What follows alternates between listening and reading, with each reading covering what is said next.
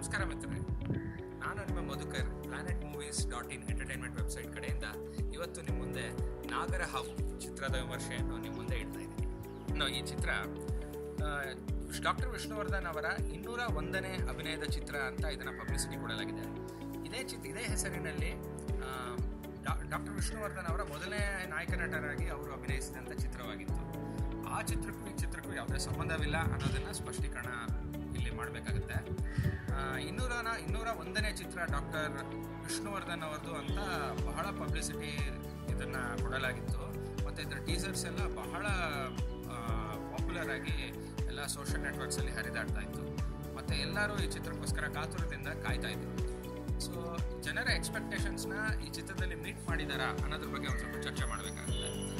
ಈ ಚಿತ್ರನ ನೀವು ನೋಡೋಕೆ ಹೋದಾಗ ಮೊದಲು ನಿಮಗೆ ಅನಿಸೋದು ಈಗ ವಿಷ್ಣುವರ್ಧನ್ ಅವರ ಎಲ್ಲ ನಿಮಗೆ ಪೋಸ್ಟರ್ಗಳು ಎಲ್ಲ ಹೊರಗಡೆ ನಿಮ್ಗೆ ಕಾಣಿಸುತ್ತೆ.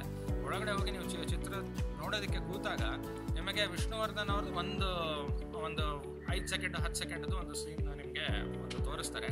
ಅದಾದ ನಂತರ ಚಿತ್ರ ಕಂಪ್ಲೀಟ್ಲಿ ನಿಮಗೆ ಯಾವುದೋ ಬೇರೆ ಚಿತ್ರ ನೋಡೋ ನೋಡೋ ರೀತಿ ಅನಿಸ್ಬೋದು. ಯಾಕಂದರೆ ಚಿತ್ರದಲ್ಲಿ ಪ್ರಮುಖ ನಾಯಕ ಮತ್ತು ನಟಿಯಾಗಿ ಅಭಿನಯಿಸಿರುವುದು ನಮ್ಮ ನಿಮ್ಮೆಲ್ಲರ ದಿಗಂತ್ ಮತ್ತು ರಮ್ಯಾ ಅವರು. ಸೊ ಇವರಿಬ್ಬರದು ಆ ಒಂದು ಸ್ಟೋರಿ ಅದು ಸಾಕ್ತಾ ಹೋಗುತ್ತೆ. ಚಿತ್ರ ಇನ್ನೇನು ಶುರು ಆಗಲಿಲ್ಲ, ಆಗಲೇ ನಿಮಗೆ ಕೆಲವು ನನಗನ್ಸೋ ಪ್ರಕಾರ ಬೇಡದ ಬೇಡವಾಗಿರುವಂಥ ಕೆಲವು ಹಾಸ್ಯ ಸನ್ನಿವೇಶಗಳನ್ನ ಅದರಲ್ಲಿ ತುರುಕಿದಂತೆ ಅನಿಸುತ್ತೆ. ಯಾಕಂದರೆ ನಿಮಗೆ ರಂಗಾಯಣರಿಗೂ ಮತ್ತು ಸಾಧು ಕೋಕಿಲ ಅವರ ಕೆಲವು ಒಂದು ಸನ್ನಿವೇಶಗಳಿದ್ದಾವೆ. ಸ್ವಲ್ಪ ನನಗೆ ಅತಿರೇಕ ಅನ್ನಿಸ್ತು. ಆದರೆ ಹೇಗೆ ಜನನೂ ಅದನ್ನು ಹೇಗೆ ಸ್ವೀಕಾರ ಮಾಡ್ತಾರೋ ನೋಡಬೇಕು. ಮತ್ತು ಇವರು ನಿರ್ದೇಶಕ ಕೋಡಿ ರಾಮಕೃಷ್ಣ ಅವರು ನನಗನ್ಸಿರೋ ಪ್ರಕಾರ ಸ್ವಲ್ಪ ಇನ್ನೂ ಸ್ಕ್ರೀನ್ ಪ್ಲೇನಲ್ಲಿ ಇನ್ನೂ ವರ್ಕ್ ಮಾಡಬೇಕಾಗಿತ್ತು. ಮತ್ತು ಒಂದು ಸ್ವಲ್ಪ ಬಿಗಿ ಬಿಗಿ ಇರಬೇಕಾಗಿತ್ತು ಚ, ಚಿತ್ರದಲ್ಲಿ. ಚಿತ್ರದ ಒಂದು ಮೇನ್ ಥೀಮ್ ಏನು ಅಂತಂದರೆ ಒಂದು ಕಳಶ ಇರುತ್ತದೆ. ಆ ಕಳಶವನ್ನು ಕಾಪಾಡೋದಕ್ಕೆ ಒಂದು ಹೆಣ್ಣು ನಾಗ, ನಾಗರ ಅದನ್ನು ರಕ್ಷಿಸೋದಕ್ಕೆ ಟ್ರೈ ಮಾಡ್ತಾ ಇರುತ್ತೆ. ಮತ್ತು ಮತ್ತೆ ಅದನ್ನು ಪಡ್ಕೊಳ್ಳೋದು ಪಡ್ಕೊಳ್ಳೋದಕ್ಕೋಸ್ಕರ ಕೆಲವು ದುಷ್ಟಶಕ್ತಿಗಳು ಅದನ್ನು ಪಡ್ಕೊಳ್ಳೋದಕ್ಕೆ ಟ್ರೈ ಮಾಡ್ತಾ ಇರುತ್ತೆ. ಇದನ್ನು ಇವರು ಇವರು ರಮ್ಯ, ನಾಗರಹಾವು ಅನ್ನೋ ರೀತಿಯಲ್ಲಿ, ಹೆಣ್ಣು ನಾಗರ ಅನ್ನೋ ರೀತಿಯಲ್ಲಿ ಅದನ್ನು ತಡೆಯೋದಕ್ಕೆ ಪ್ರಯತ್ನ ಮಾಡ್ತಾ ಇರ್ತಾರೆ. ಈ ಒಂದು ಸಂಘರ್ಷನ ಚಿತ್ರದಲ್ಲಿ ಅದು ಮೂಲ ಕಥಾವಸ್ತುವಾಗಿ ಅದನ್ನು ಇಟ್ಕೊಂಡಿದ್ದಾರೆ. ಮತ್ತು ನಿಮಗೆ ಕೊನೆಯದಾಗಿ ಒಂದು ದೊಡ್ಡ ಒಂದು ಶಿವನ ಮೂರ್ತಿ, ಒಂದು ಗ್ರಾಫಿಕ್ಸ್ ಮೂಲಕ ಅದನ್ನು ಮಾಡಿದ್ದಾರೆ. ಆ ಶಿವನ ಮೂರ್ತಿಯ ಮೇಲೆ ನಿಮಗೆ ನಾಗರಹಾವು ಒಂದು ಶಿವನ ಕಂಠದಲ್ಲಿರುವಂಥ ನಾಗರಹಾವು ಆಗಿ ಅದನ್ನು ತೋರಿಸಿದ್ದಾರೆ. ಆ ನಾಗರಹಾವು ಬಂದು ರಮ್ಯ ಅವರನ್ನು ಕಾಪಾಡೋ ರೀತಿಯಲ್ಲಿ ಆ ನಾಗರಹಾವು ನಮ್ಮ ಡಾಕ್ಟರ್ ವಿಷ್ಣುವರ್ಧನ್ ಅವರ ಒಂದು ಆಕೃತಿಯನ್ನು ಪಡ್ಕೊಂಡು ಅದು ರಮ್ಯ ಅವ್ರನ್ನ ರಕ್ಷಿಸೋ ರೀತಿ ಮತ್ತು ಆ ಕಲಶವನ್ನು ರಕ್ಷಿಸೋ ರೀತಿ ಚಿತ್ರದಲ್ಲಿ ತೋರಿಸಲಾಗಿದೆ. ಇದು ಚಿತ್ರದ ಮೂಲ ಕಥೆ. ಸೊ ಇಷ್ಟು ತೋರಿಸುವಾಗ ಒಂದು ಸಸ್ಪೆನ್ಸ್ ಎಲಿಮೆಂಟ್ ಇಟ್ಕೊಂಡು ಅದನ್ನು ಚೆನ್ನಾಗಿ ಸಾಗಿಸ್ಕೊಂಡು ಹೋಗ್ಬೋದಾಗಿತ್ತು. ಆದರೆ ಚಿತ್ರ, ಇದು ಸ್ಕ್ರೀನ್ ಪೇನಲ್ಲಿ ನಿಮ್ಮ ಚಿತ್ರಕಥೆಯಲ್ಲಿ ಒಂದು ಸ್ವಲ್ಪ ಬಿಗಿ ಇಲ್ಲ. ಮತ್ತು ಜನರಿಗೆ ಕನ್ಫ್ಯೂಷನ್ ಕ್ರಿಯೇಟ್ ಆಗೋ ರೀತಿ ಕೆಲವು ಸೀನ್ಸ್ಗಳನ್ನ ತೋರಿಸಲಾಗಿದೆ. ಸೊ ಇದೆಲ್ಲ ಸ್ವಲ್ಪ ಜನರ ಪೇಷನ್ಸ್ನ ಟೆಸ್ಟ್ ಮಾಡುತ್ತೆ. ಯಾಕಂದರೆ ಜನ ಬಂದಿರೋದು ಮೇಯ್ನಾಗಿ ನಮಗೆ ನಮ್ಮ ಸಾಹಸ ಸಿಂಹ ಡಾಕ್ಟರ್ ವಿಷ್ಣುವರ್ಧನ್ ಅವರ ಆ್ಯಕ್ಟಿಂಗ್ನ ಅಥವಾ ಆ್ಯಕ್ಟಿಂಗ್ನಾಗಲಿ ಅಥವಾ ಅವರ ಸೀನ್ಸ್ನ ನೋಡೋದಕ್ಕಾಗಲಿ ಬಂದಿರ್ತಾರೆ. ಸೊ ಹೀಗಾಗಿ ಆ ಸೀನ್ ಬರೋದಕ್ಕೋಸ್ಕರನೇ ಎಲ್ಲ ಜನರು ಕಾಯ್ತಾ ಇರ್ತಾರೆ. ಆ ರೀತಿಯಿಂದ ಸ್ವಲ್ಪ ಜನರಿಗೆ ಮಧ್ಯದಲ್ಲಿ ಫ್ರಸ್ಟ್ರೇಷನ್ ಆಗಬಹುದು.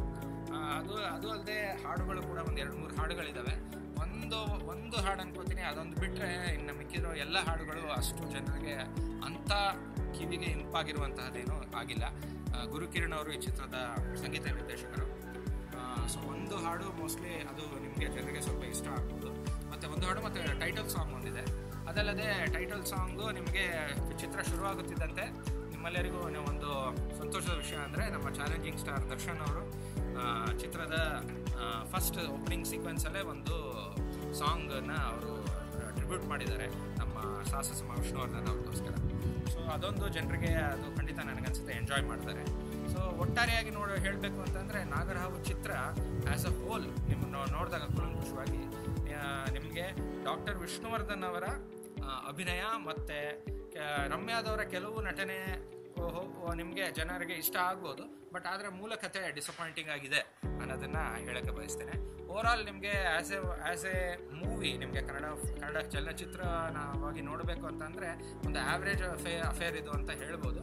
ಆದರೆ ಎಲ್ಲದನ್ನು ನಮಗೆ ಮರೆಸುವಂಥ, ಎಲ್ಲ ಕೋಡಿ ರಾಮಕೃಷ್ಣ ಅವರು ಮಾಡಿರೋ ತಪ್ಪುಗಳನ್ನು ಮರೆಸುವಂಥ ರೀತಿಯಲ್ಲಿ ನಮ್ಮ ಲೇಟ್ ಡಾಕ್ಟರ್ ವಿಷ್ಣುವರ್ಧನ್, ಸಾಹಸ ಸಿಂಹ ಡಾಕ್ಟರ್ ವಿಷ್ಣುವರ್ಧನ್ ಅವರ ಸೀನ್ಗಳನ್ನ ನೋಡಿದಾಗ ನಿಮಗೆಲ್ಲವನ್ನು ಅದು ಮರೆಸುವಂಥ ಅಗಾಧ ಶಕ್ತಿಯನ್ನು ಹೊಂದಿದೆ.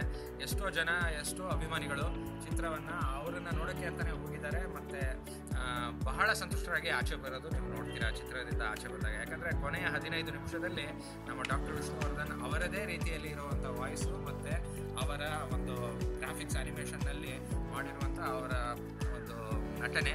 ಬಹಳ ಚೆನ್ನಾಗಿ ಅದು ಮೂಡಿ ಬಂದಿದೆ. ಅದನ್ನು ಮಾಡೋದಕ್ಕೆ ಸುಮಾರು ಒಂದು ಹದಿನೈದು ಕೋಟಿ ಅಥವಾ ಹದಿಮೂರು ಕೋಟಿ ಖರ್ಚಾಗಿದೆ ಅಂತ ನಾನು ಕೇಳ್ಪಟ್ಟೆ. ಆದರೆ ನನ್ನ ಪ್ರ, ಅನಿಸಿಕೆ ಪ್ರಕಾರ ಇನ್ನೂ ಸ್ವಲ್ಪ ಜಾಸ್ತಿ ರೋಲ್ ಲೆಂತ್ ಮಾಡಿ, ಇನ್ನೂ ಸ್ವಲ್ಪ ಖರ್ಚು ಮಾಡಿನೇ ಅದನ್ನು ಮಾಡಿದಿದ್ರೆ ಇನ್ನೂ ಜನರು ಫ್ಯಾನ್ಸ್ ಎಲ್ಲ ಸ್ಯಾಟಿಸ್ಫೈ ಆಗ್ತಾಯಿದ್ರು ಈ ಚಿತ್ರ ನೋಡುವಾಗ ಈಗ ಇತ್ತೀಚೆಗೆ ಬಂದ ಒಂದು ನ್ಯೂಸ್ ಪ್ರಕಾರ ಒಬ್ಬ ವಿಷ್ಣು ಅಭಿಮಾನಿ ಭಾವೋದ್ವೇಗಕ್ಕೆ ಒಳಗಾಗಿ ಅವನು ಹಾರ್ಟ್ ಅಟ್ಯಾಕ್ ಆಗಿ ತೀರ್ಕೊಂಡ ಅಂತ ನ್ಯೂಸ್ ಕೇಳಿಬಂತು ಹಾಗಾಗಿ ಪ್ರೇಕ್ಷಕರ ವಿನಂತಿ ಏನಂದರೆ ಖುಷಿಪಟ್ಟು ನೋಡಿ, ಆದರೆ ಜಾಸ್ತಿ ಭಾವ, ಭಾವೋದ್ವೇಗಕ್ಕೆ ಒಳಗಾಗಬೇಡಿ. ಆದರೆ ಮಾತ್ರ ಜನರಿಗೆ ಬಹಳ ಖುಷಿ ಕೊಡುತ್ತೆ. ಯಾಕಂದರೆ ನಮ್ಮ ಡಾಕ್ಟರ್ ವಿಷ್ಣುವರ್ಧನ್ ಅವರು ಎದ್ದು ಬಂದು ನಮ್ಮ ಮುಂದೆ ನಿಂತು ನಟನೆ ಮಾಡುತ್ತಿರೋ ಹಂಗೆ ನಮಗೆ ಭಾಸವಾಗುತ್ತದೆ ಸೊ ಈ ರೀತಿಯಲ್ಲಿ ಎಲ್ಲ ಅಭಿಮಾನಿಗಳು ಒಂದ್ಸಲ ಈ ಚಿತ್ರ ನೋಡಬೇಕು. ನೋಡಿದ್ರೆ ಅವರಿಗೆ ಖುಷಿ ಕೊಡುತ್ತೆ ಖಂಡಿತ.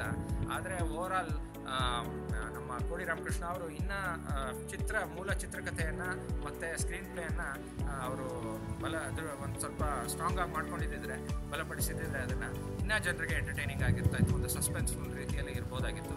ಓವರಾಲ್ ಈ ಚಿತ್ರಕ್ಕೆ ನಾನು ಒಂದು ಔಟ್ ಆಫ್ ಫೈವ್ ನಾನು ಟೂ ಪಾಯಿಂಟ್ ಫೈವ್ ಸ್ಟಾರ್ಸ್ ಕೊಡ್ತಾ ಇದ್ದೀನಿ. ಯು